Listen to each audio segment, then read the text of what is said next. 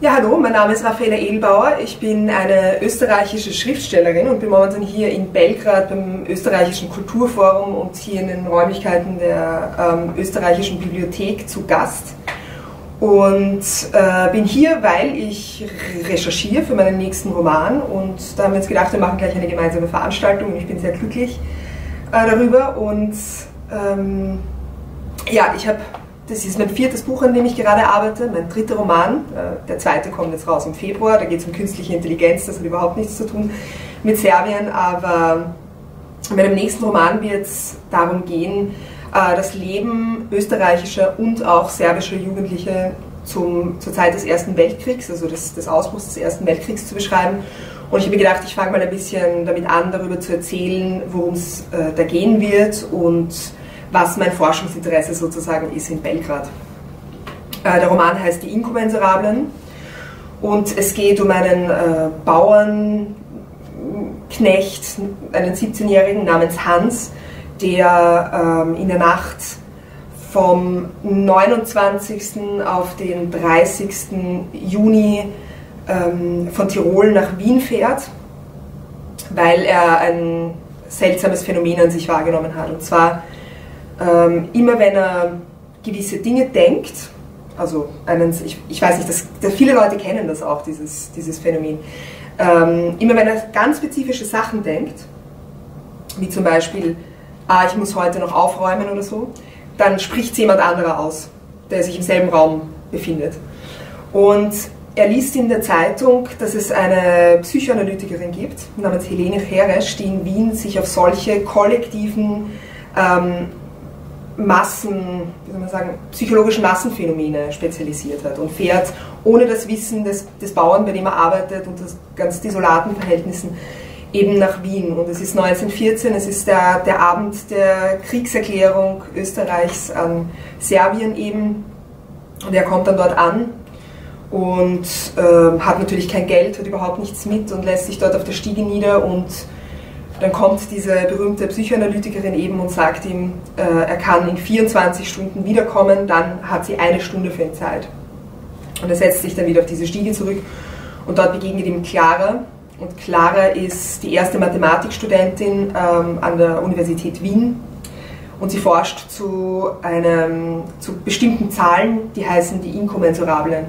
Das sind Zahlen, die, ähm, wie zum Beispiel die Wurzel aus 2, die nicht in der Welt vorkommen. Es gibt keine Länge, die genau diese, diese Zahl repräsentiert, die aber wichtige Naturgesetze in Gang halten sozusagen. Und, und Clara ist der Mittelpunkt eines Traumclusters, deswegen ist sie Patientin dort.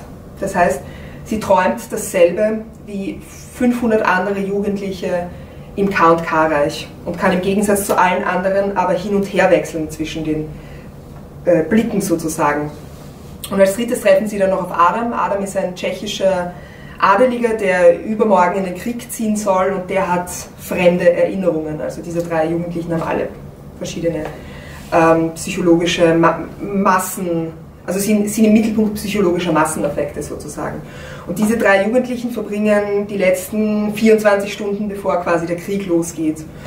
Und gerade deswegen, weil da auch ähm, einige serbische Jugendliche vorkommen sollen, habe ich mich eben nach Belgrad begeben, weil ich auch erstens mal die andere Seite der Geschichte kennenlernen wollte und dann zweitens auch wissen wollte, wie einfach hier das Leben für Menschen zwischen 15 und 20 war, äh, wie man den Krieg erlebt hat und so weiter und so fort. Und ähm, begebe mich da in verschiedene Museen, Archive und werde auch morgen mit einer Historikerin die gerade zu diesem Thema forscht, eben einen Spaziergang durch Belgrad machen, wo ich sie alles fragen kann und möglichst viel dann mitnehmen nach Österreich.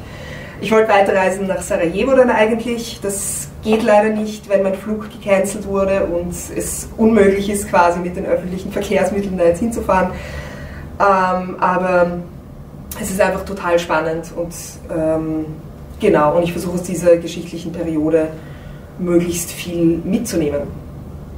Mm, ich bin auch in meinem letzten Roman, der sehr breit rezipiert wurde in, in Österreich und Deutschland. Und jetzt erscheinen noch einige Übersetzungen, ähm, ebenfalls auf ein geschichtliches Thema eingegangen. Also das ist so ein bisschen, könnte man auch sagen, eine Spezialität von mir. Mm, Es ging in das flüssige Land, also das ist bis jetzt auf Deutsch erhältlich, wird dann aber auch in einigen Monaten auf Englisch äh, zu lesen sein. Und vielleicht, falls sich unter den Zusehern irgendjemand befindet, der ähm, unbedingt eine Übersetzung davon machen möchte. Ich bin sehr, sehr offen dafür und ähm, habe noch überhaupt keine, keine Übersetzungen aus Osteuropa. Kann mir aber vorstellen, dass das ein sehr, sehr interessanter Stoff sein könnte. Bin ich jederzeit erreichbar und natürlich mein Verlag und meine Agentur sind es auch. Also senden wir auch sehr, sehr gerne Exemplare an alle Leute, die sich dafür interessieren. Auf jeden Fall in das flüssige Land geht es um ein bisschen einen anderen Stoff, nämlich um Österreichs nationalsozialistische Vergangenheit. Ähm, wir steigen ein, ich werde jetzt auch dann noch ein bisschen was vorlesen, damit man sich so ein bisschen unter meiner Sprache was vorstellen kann, wie ich diese Themen angehe, äh, in das Leben der jungen Physikerin Ruth, die äh, eines Morgens erwacht mit einer furchtbaren Nachricht, nämlich äh, beide Eltern sind gestorben und sie muss ein Begräbnis für die organisieren in einer ominösen Gemeinde namens Großeinland. Ähm, sie fährt dann los, äh, sucht das sehr, sehr lange, es ist auf keiner Karte verzeichnet, es ist in keinem Straßenatlas zu finden. Ähm, und sie findet es dann doch, aber mehr durch Zufall als durch Kalkül und findet bald heraus, dass das sehr, sehr seltsam ist, was sich dort zuträgt. Nämlich steht diese gesamte Gemeinde auf einem riesigen Loch. Äh, und Loch heißt hier, dass im, im Mittelalter bis, bis in die frühe Neuzeit ausgehöhlt wurde, Bergbau betrieben wurde auf eine ganz rücksichtslose Art, die jetzt dafür sorgt, dass die gesamte Gemeinde langsam einsinkt in dieses Loch. Und in diesem Loch, das ist aber nicht, nicht nur neutral, es ist nicht nur ein, ein statisches Problem sozusagen, sondern in diesem Bergwerk hat sich im Nationalsozialismus auch ein Verbrechen zugetragen, über das niemand so gerne spricht. Ähm, nämlich war da ein, eine Nebenstelle des Konzentrationslagers Mauthausen, wo 2000 Menschen umgekommen sind ähm, am Ostermontag im Jahr 1945. Und ich erzähle noch ein bisschen was dazu, wenn ich die erste Stelle vorgelesen habe. Jetzt steigen wir mal ein, das ist nämlich die Anfangspassage meines Romans.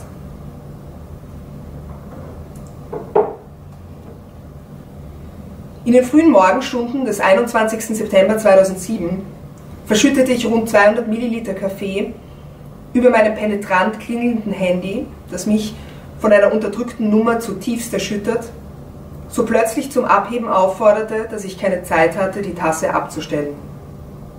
Irritiert über die Unterbrechung der Arbeit, verstand ich erst nach einigen Sekunden, wer da mit mir sprach. Am Apparat war ein Polizist. Und ohne die Umschweife einer ausführlichen Begrüßung hatte er mir mitgeteilt, dass meine beiden Eltern vergangene Nacht bei einem Autounfall ums Leben gekommen waren. Ums Leben? fragte ich, obwohl ich es sofort begriffen hatte.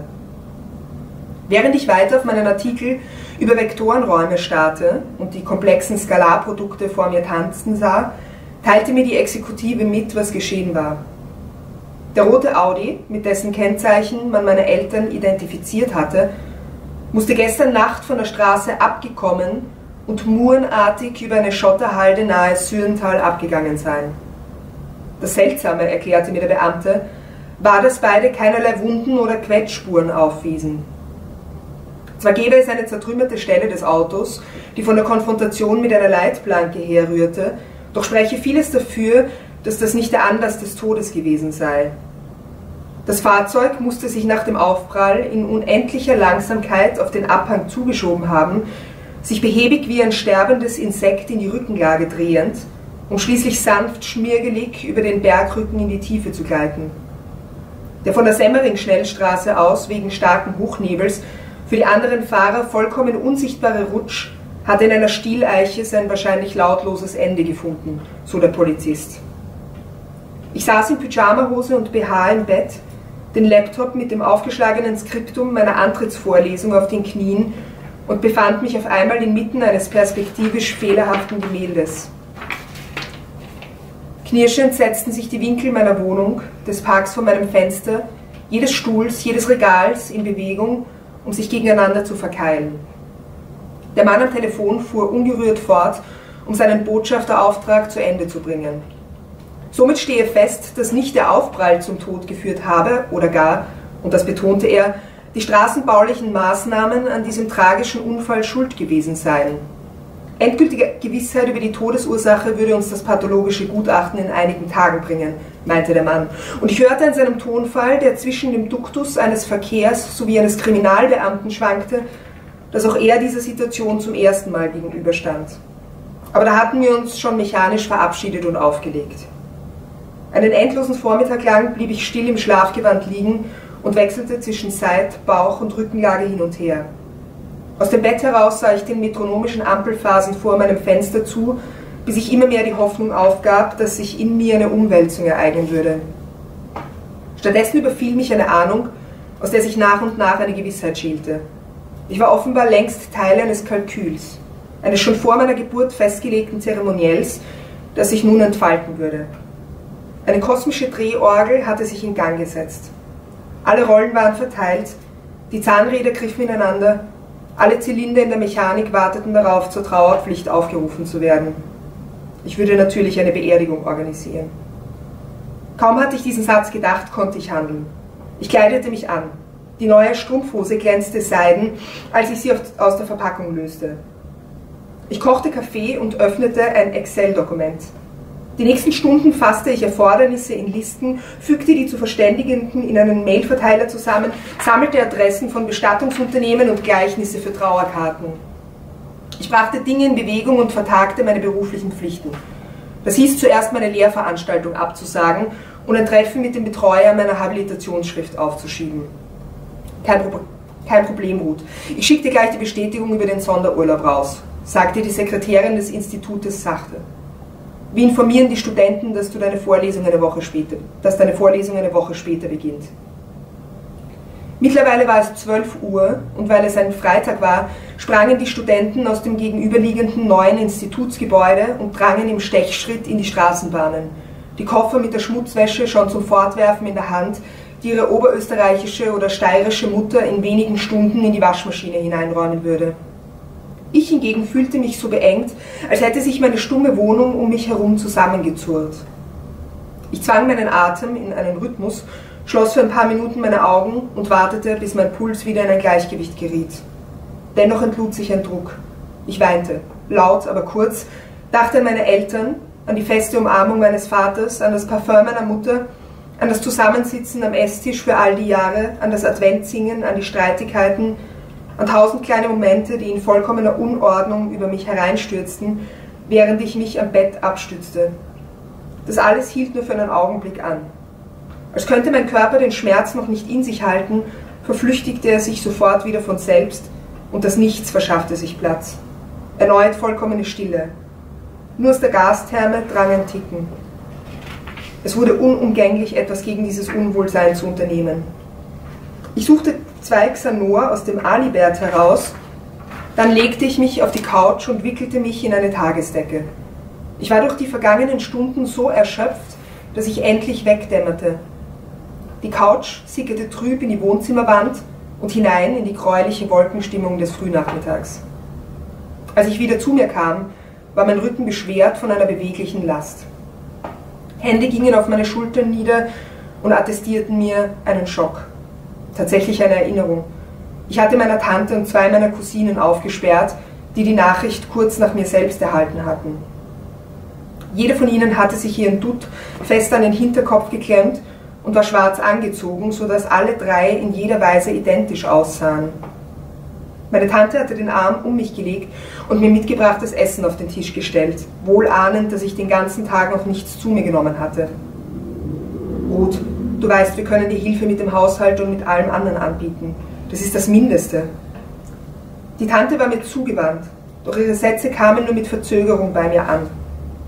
Wir waren bald in ein ernstes Gespräch über die Modalitäten der Beerdigung verwickelt, als ich ein Glas fallen ließ, in das jemand in meiner geistigen Abwesenheit Orangensaft gefüllt hatte. Ich sah die Flüssigkeit ungebremst unter mein Sofa laufen und hatte ihr nichts entgegenzusetzen. Der Tisch glitt unter meinen Händen davon das Mobiliar mir fremd, obwohl es doch meines war. Die von den Cousinen gezogenen Taschentücher, die im Akkord vibrierenden Mobiltelefone, die übers Firmament wandernde Sonnenscheibe, die rhythmisch fallenden Tränen aus meinen eigenen und fremden Drüsen gaben den Takt. Der Blasebalg meiner Lungen betätigte sich in den leeren Raum hinein. Die Abläufe waren aus ihren logischen Relationen ausgebrochen, dachte ich. Du hast einen Schock, wiederholte eine der Cousinen sinnlos und wischte mir die Haare gegen den Strich. Ins Blickfeld hinein, statt aus diesem heraus. Die Tante erklärte mir, zwischen Trompetenstößen aus ihrer zum Bersten gefüllten Nase, dass es der stete und unhinterfragbare Wille meiner Eltern gewesen sei, in Großeinland beerdigt zu werden. Großeinland, sagte ich mehrmals, um mir diesen die längste Zeit entfallenen Namen ins Gedächtnis zu rufen. Großeinland, Großeinland, Großeinland, Großeinland, deklamierte die Tante als abschließendes Amen, dann sprang ich auf die Beine. Also wie wir gerade gehört haben, äh, geht es um diese Ortschaft Großeinland, wo sie dann gleich aufbrechen wird zu einem wahren Roadtrip durch die österreichischen Voralpen. Und ich sage noch ganz kurz was zu, diesem, zu dieser Ortschaft, weil das ist für viele Leute sehr interessant. Ich habe ähm, gesamte, den gesamten historischen Background dieser Geschichte eigentlich meiner eigenen Heimatgemeinde äh, Hinterbrühl bei Wien entlehnt. Das ist ein, ein kleiner Ort, man könnte fast sagen eine Vorstadt, in der es ähm, eine berühmte touristische Attraktion gibt, nämlich die sogenannte Seegrotte. Das ist der größte unterirdische Höhlensee Europas. Also viele japanische und amerikanische Touristen kommen dorthin und schauen sich dieses Naturspektakel an. Und wie ich es vorher erklärt habe, habe ich eigentlich erst relativ spät, das war das Schockierende, das war auch der auslösende Punkt, warum ich dieses Buch schreiben musste, ähm, habe ich erst mit 18 circa herausgefunden, was sich dort eben zugetragen hat eigentlich im Nationalsozialismus und dass dort die Nebenstelle eines Konzentrationslagers war. Und äh, als die Alliierten vor, der, vor den Türen sozusagen standen, ähm, hat man dann beschlossen, dieses Lager zu räumen, wie es euphemistisch auf Deutsch heißt. Das heißt, die, also die marschfähigen Menschen zunächst einmal auf einen Todesmarsch zu schicken nach Mauthausen. Das heißt, die sind alle entweder auf dem Marsch gestorben, äh, wo die Namen nicht verzeichnet sind, oder sie sind eben in den Gaskammern von Mauthausen umgekommen. Äh, und die nicht marschfähigen Menschen wurden ähm, mit Benzininjektionen ins Herz getötet und in ein Massengrab geworfen und verscharrt und dann kollektiv vergessen. Und das fand ich eine sehr, sehr faszinierende Geschichte. Also diese Gleichzeitigkeit der Touristenattraktion, des äh, vergrabenen Erbes Österreichs quasi und habe das dann in diese Gemeinde hineingegossen, die stellvertretend stehen soll für die gesamte Geschichte Österreichs. Also wir haben da Strukturen, die aus der Monarchie noch sich enthalten haben. Wir haben eine, seltsame Gräfin, wir haben ähm, wir haben eine Zerbombung im Zweiten Weltkrieg, wir haben äh, verschiedenste Reliquien aus dem Mittelalter, quasi Folklore, märchenhafte Elemente, die ich in, diese, in, diese, in diesen sehr hyperrealen Ort quasi verdichtet habe. Ähm, also nur damit man sich auch circa vorstellen kann, was ich meine, wenn ich sage historisch. Ich meine natürlich nicht, das könnte ich auch zum Beispiel in Belgrad hier überhaupt nicht. Ich kann nicht jedes Detail wie, ein, wie, eine Historikerin herausfinden und dann einen historischen Roman schreiben. Ich habe, wie auch beim vorigen Stoff jetzt äh, ja schon so ein bisschen zu spüren war, habe ich immer ein fantastisches Element drinnen, das, äh, das diesen abstrakten und ein bisschen absurden Ort auch immer mit ein bisschen Humor quasi äh, porträtieren soll.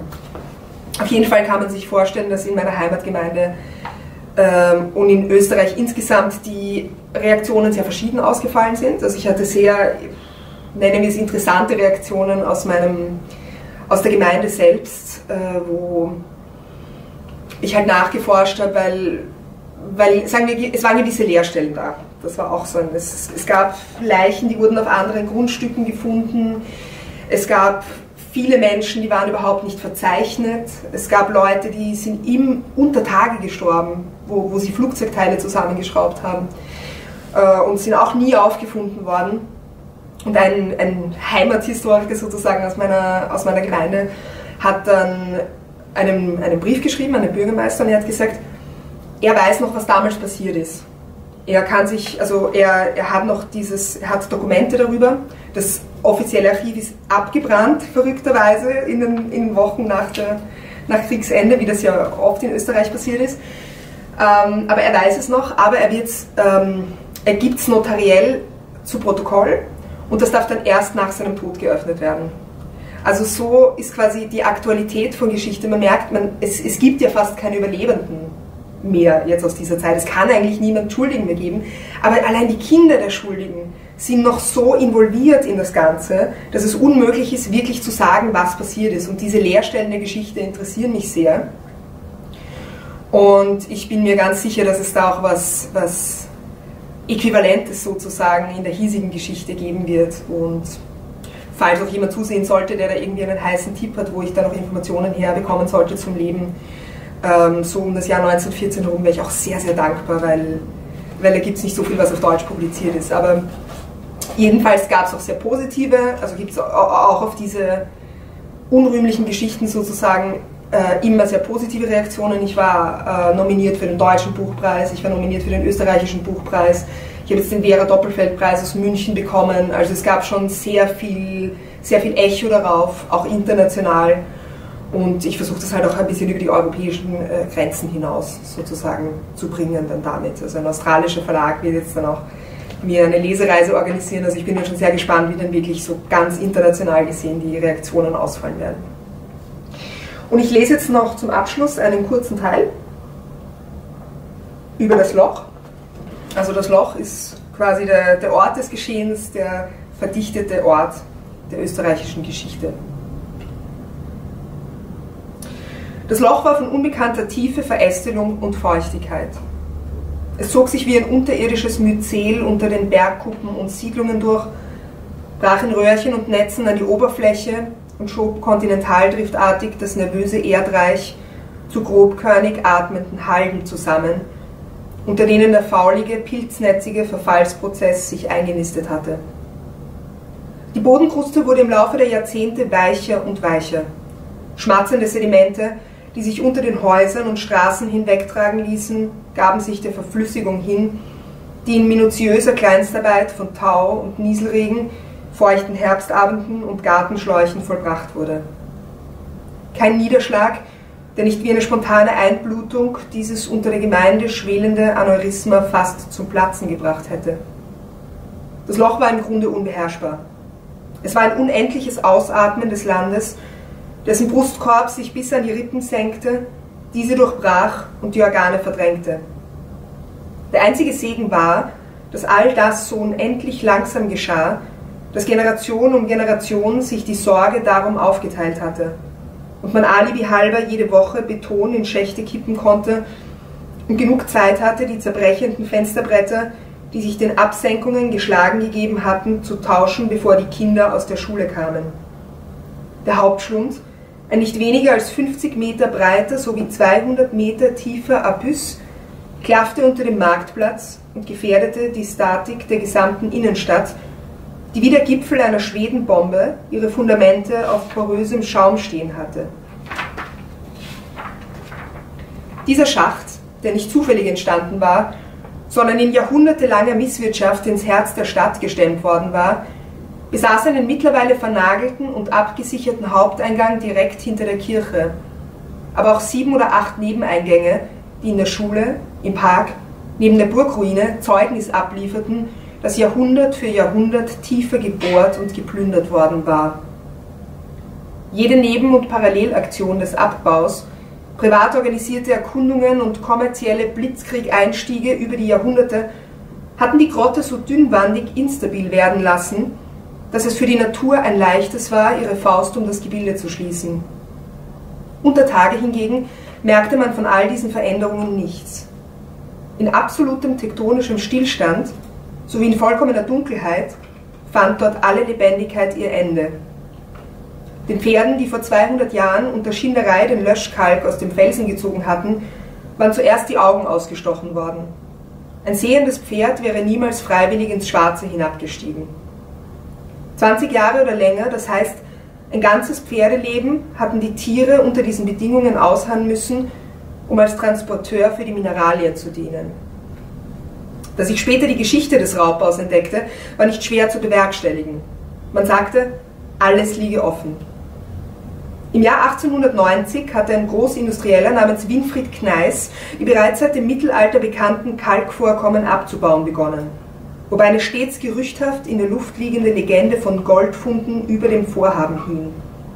Er hatte sich mit einer Legion Leiharbeiter aus dem Burgenland und westlichen Ungarn ausgestattet, die jeden Montag mit dem Zug bis Glocknitz transportiert wurden, worauf die Kolonne die 23 Kilometer bis Großeinland zwischen 4 und 9 Uhr morgens zu Fuß zurückgelegt hatte. Die Straßen blähten sich um diese Uhrzeit und in kleine Parzellen geteilte Zinshäuser bliesen sich von innen mit Menschenmaterial an, bis Freitag um 21 Uhr der Druck wieder entlassen wurde und das Dorf am Wochenende zu einer Geisterstadt wurde. Der Kalk wurde in Tonnen und Abertonnen aus dem Berg ausgelöst und in die Aorten der K- und K-Nervensysteme gepumpt, da er in Prag, Krakau und Lemberg für die florierende Eisenindustrie gebraucht wurde. Zwischen den Kriegen geschah nichts. Das heißt, natürlich geschah alles. Denn nachdem das Bergwerk durch einen Spontanverkauf offiziell stillstand, begann nun die in Hab-Acht-Stellung wartende Bevölkerung eigenmächtig mit improvisiertem Material einzusteigen. Das Loch übte eine mesmerisierende Gewalt aus, ein kollektives Begehren, das das wirtschaftliche Hymen zu durchbrechen strebte, welches das Land von seiner Bevölkerung getrennt hatte. In kürzester Zeit wurde ein Vergnügungslokal unter Tage eingerichtet, ein Casino, im Jahr darauf ein Bordell. Aber auch privat erotisierte diese Tiefe. Da stiegen Gruppen von jungen Männern als Mutprobe in die Nebenschächte. Verarmte Familien gingen der lange, wie ein Jucken empfundenen Ahnung nach, dass sich auf dem Grund des Steinbauchs Gold finden ließe. Somnambule Kreise wurden im Morgengrauen in der Nähe des Stollens gesehen und verschwanden spurlos. 1939 wurden die Schächte, die sich an einigen Stellen 40 Meter tief in den Berg stemmten, von der Wehrmacht übernommen. Ein unsichtbarer, bombensicherer Ort für die Munitionsproduktion. Eine Nebenstelle des Konzentrationslagers Mauthausen wurde eingerichtet und nun war es, wie 50 Jahre zuvor, mit den ungarischen Arbeitern der normalste aller Anblicke, die unterernährten Männer und Frauen durch die Innenstadt gehen zu sehen, die von ihren Baracken hinter den Wäldern über Land in die Stollen getrieben wurden. Das alles war aufgearbeitet, eingerahmt und zu Infotafeln zusammengefasst in den Boden gestemmt worden. Es gab eine Gedenkstätte, die dem Erinnern einen exakt bezirkelten Radius zuwies, in dessen Orbit man etwa zwei Dutzend Gladiolen pflanzen konnte. Das Loch hatte also eine klar umrissene Biografie, an der zu rühren sich niemand scheute, nur dass das gesamte poröse, wabenartige Land unter dieser Berührung zu zerfallen drohte. Genau, so viel dazu. Ähm, falls äh, meine Bücher jemanden interessieren sollten, äh, ich bin im Internet zu finden unter raffaelaedelbauer.com, dort sind noch all meine Social Media Profile, ich bin sehr, sehr aktiv. Ähm, mache auch Videos ähm, darüber, wie so das Leben als Schriftstellerin ist und, und was ich so den ganzen Tag mache. Und man kann sehr gut ähm, auf dem Laufenden gehalten werden über meine aktuellen Projekte. Also ich würde mich sehr, sehr freuen, wenn wir in Kontakt treten würden. Schreibt mir einfach eine Nachricht oder wie auch immer. Ähm, gebt mir Tipps, was ich, was ich noch beachten sollte an der serbischen Geschichte für mein nächstes Projekt. Und ich wünsche euch einen guten Lockdown, bleibt gesund und alles Gute. Ciao.